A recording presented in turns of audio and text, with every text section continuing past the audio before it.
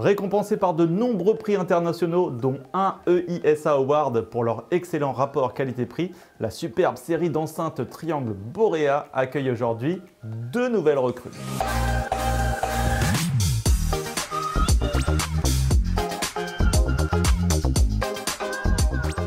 Bonjour à tous, c'est Benji, bienvenue sur la Cobra TV et dans l'appart. Aujourd'hui, j'ai fait des nouveaux setups les amis. Chaîne IFI, un platine vinyle et système 2.0 autour d'un téléviseur. Je peux vous dire, c'est hyper coolos. Je viens de recevoir les toutes nouvelles enceintes bibliothèque active de la marque Triangle, Borea BR02BT et les BR03BT. Le BT, c'est pour Bluetooth. Hein. Ce sont des enceintes auto-amplifiées, elles n'ont pas besoin d'amplificateur. Elles se présentent donc comme un système hi tout en un. Et je dois bien vous dire que c'est vraiment, vraiment pas mal.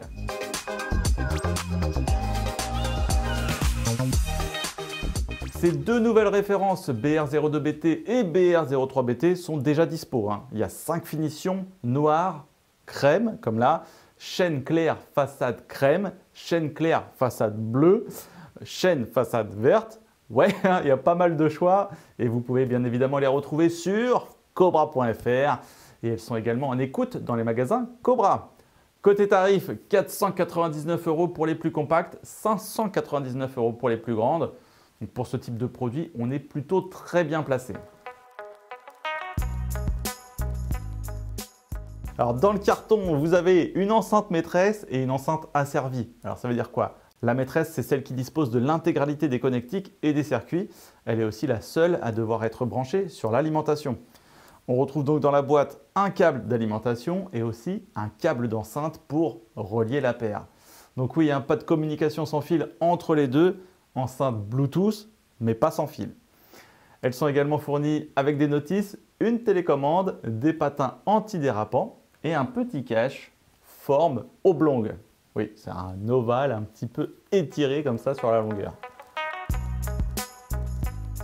Niveau look, eh bien, on est sur un design d'enceinte euh, classique, hein, rectangulaire. Mais c'est plutôt chic. Hein. Joli choix de coloris, joli jeu de matière. J'aime particulièrement euh, bah, le dessin des haut-parleurs. Ouais, elles ont, ont vraiment un petit charme et, s'adaptent bien à n'importe où hein, dans l'intérieur. C'est vrai qu'ici dans la part, je trouve ça plutôt chouette. La grille magnétique, elle est aussi jolie, mais perso, hein, je préfère sans. J'aime bien moi voir les HP apparents, surtout quand ils se débattent. Voilà, je trouve ça plus sympa.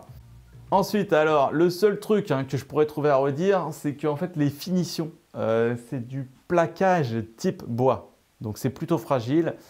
Attention à ne pas les cogner, hein. à mon avis, ça doit vite marquer. Donc, on les pose et on évite de trop les manipuler. Pour l'encombrement, elles sont relativement faciles à fitter dans son intérieur. Enfin, la télécommande. Bon, plutôt basique hein, la télécommande, mais simple d'utilisation. Côté connectique, alors ce qui va intéresser la majorité, c'est bien sûr son côté Bluetooth. Donc pour envoyer eh bien, directement sa musique depuis un smartphone ou une tablette. Là, vous pouvez compter sur une compatibilité Bluetooth haut débit avec des codecs Bluetooth 5.0, aptX, aptX HD, aptX Low Latency qui offre un débit qui autorise des flux audio jusqu'à 24 bits 48 kHz. Voilà, hein, de quoi se faire des sessions streaming de qualité. Alors sinon, pour les sources filaires, eh bien, on retrouve une riche connectique à l'arrière. Vous avez une entrée RCA stéréo pour y mettre une platine, une entrée optique qui permet de brancher un téléviseur, une entrée coaxiale pour brancher un lecteur réseau ou un lecteur CD par exemple, et un port mini jack. Enfin, on retrouve aussi une sortie caisson. Ça, c'est pas mal. Hein. Je ne l'ai pas utilisé là dans mon test, mais voilà, c'est toujours intéressant de savoir qu'on peut upgrader les basses avec un caisson comme par exemple le Thales 340 de triangle. Mais vous en faites pas, hein. si vous avez une autre marque à la maison, hein, ça fonctionne aussi. Et puis sinon, il y a aussi beaucoup de choix sur cobra.fr. Alors ce qui est cool, hein, c'est qu'on retrouve à l'arrière, en plus du bouton Power, une petite molette ici, un bouton de volume qui permet aussi, en appuyant dessus, de changer les sources donc voilà, donc on a déjà les commandes de base directement inclus sur l'enceinte, ça c'est pas mal. Savoir que vous avez ici là un petit voyant lumineux qui permet de repérer la source qui est utilisée suivant un code couleur. Bleu pour Bluetooth, violet pour optique, vert pour phono. Ensuite alors vous avez la télécommande, hein. elle permet évidemment également de changer la source, de prendre le contrôle du volume. Mais il y a des choses aussi intéressantes dessus, c'est que vous allez pouvoir affiner l'équilibre tonal en jouant sur la puissance des aigus et des basses. Donc ça, c'est réglable sur 15 positions, hein, de moins 7 à plus 7, à savoir qu'il y a à peu près 2 euh, dB entre chaque pas. Alors par contre, ce qui n'est pas très pratique, hein, c'est qu'il n'y a aucun affichage euh, du réglage. On ne sait pas trop où on en est. Enfin bon, sachez tout de même que vous pouvez euh, remettre à zéro le réglage avec la touche EQ Reset de la télécommande. Voilà, comme ça après on compte. Alors niveau architecture, les deux modèles partent sur les mêmes bases. Hein. Elles présentent un coffret MDF associé au système d'absorption de vibration DVAS. Alors ça c'est pour limiter le phénomène de distorsion. Alors ensuite, les haut-parleurs intégrés sont directement hérités hein, des Borea traditionnels. On y retrouve le tweeter EFS de 25 mm à dôme tissu et un HP médium grave en pulpe de cellulose. En papier, quoi. voilà, donc c'est sur ce dernier hein, que va se jouer la différence entre les deux modèles, à savoir que la BR02 offrira un diamètre de 13 cm, tandis que la 03 offrira 16,5 cm. Côté amplification, petit écart de puissance également. Hein. La BR02 développe 2 x 50 watts contre 2 x 60 sur la 03. Et enfin, à l'arrière, on notera un évent sur la 0,2 contre 2 sur la 0,3. Voilà. Allez, on installe tout ça. Pour l'installation, veillez à bien relier les bons borniers ensemble. Hein. On met le noir sur le noir, le rouge sur le rouge. Donc ma petite astuce, hein, un des deux câbles est imprimé tout de long et c'est celui-là que moi je mets sur le bornier noir. On évitera aussi de les coller au mur hein, afin de ne pas entraver la sortie des basses via les vents situés à l'arrière. La connexion en Bluetooth, hyper rapide, hyper simple. Voilà, il n'y a, aucune intervention hein, sur l'enceinte, c'est directement depuis votre téléphone. Ça marche tout de suite. Nickel de ce côté-là. Sur la config avec une platine vinyle, il faut bien penser à relier la masse aussi. Il hein. ne faut pas l'oublier, qu'on met dans le petit bornier et on active le préampli phono.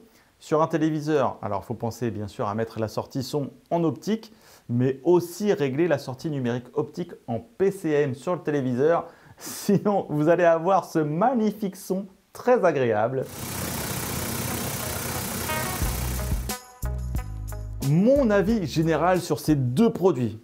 Eh bien, pour ce niveau de tarif, franchement, c'est très satisfaisant. Le son est bien équilibré et ce qui impressionne tout de suite, c'est le niveau de basse. C'est vraiment puissant c'est rond, l'ensemble est chaleureux, sans pour autant écraser euh, les médiums et les aigus. Il reste quand même bien clair. Donc on a une bonne dynamique et on ne ressent pas trop de compression non plus. On distingue bien les voix par rapport aux instruments.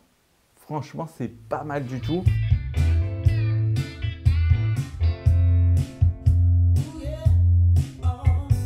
Le volume est maîtrisé également. Hein. À bas ou à fort volume, on profite d'une écoute convenable.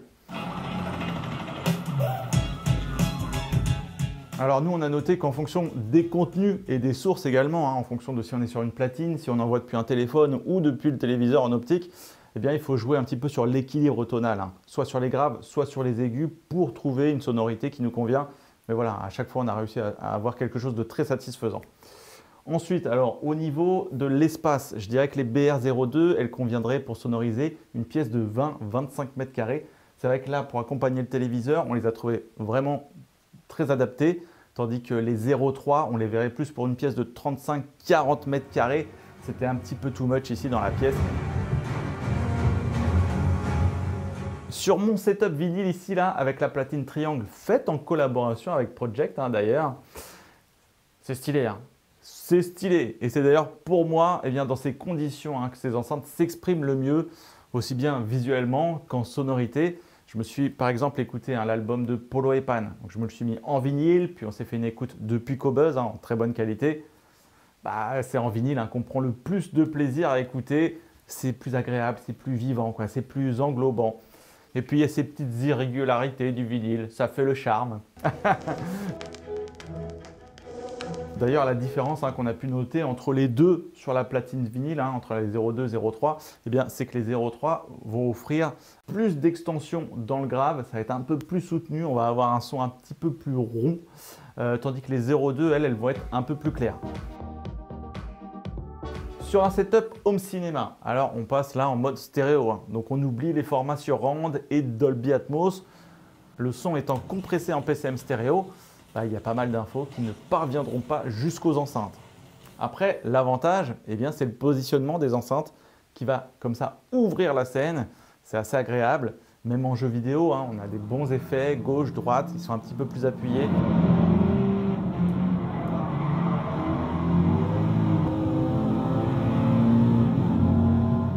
Alors versus une barre de son classique. Alors évidemment, ça dépendra de ce que vous recherchez comme expérience. La barre de son va vous offrir plus de fidélité pour les différents effets et les formats audio comme le Atmos et le surround et tout ça. Ici, bien sûr, on reste en stéréo. Par contre, voilà, on a cette largeur de scène qui est quand même sympa. De par le positionnement, on a une restitution plus aérée et puis on garde toujours bah, cette bonne qualité au travers des enceintes.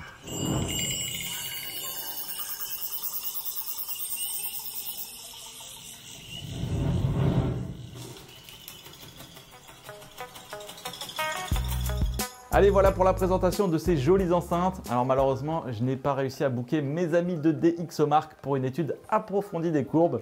Cela dit, je peux vous dire qu'elles font bien le boulot. Et tous ceux qui sont passés là autour du studio pendant que je faisais des sessions d'écoute, eh ben, ont été surpris, étaient plutôt en mode Waouh, dis donc, c'est les petites bibliothèques là qui jouent. Dis donc, c'est pas mal, hein elles ont du grave. ouais, c'est les collègues, ils sont comme ça. Donc voilà, produit très cool. Elles offrent une belle alternative pour jouer le rôle d'un système IFI tout en un, surtout avec une platine vinyle comme ça. Franchement, moi j'ai adoré ce setup. Elles sont bien sûr à voir, écouter, tester dans les deux magasins Cobra. C'était Benji et je vous dis à très bientôt sur la Cobra TV.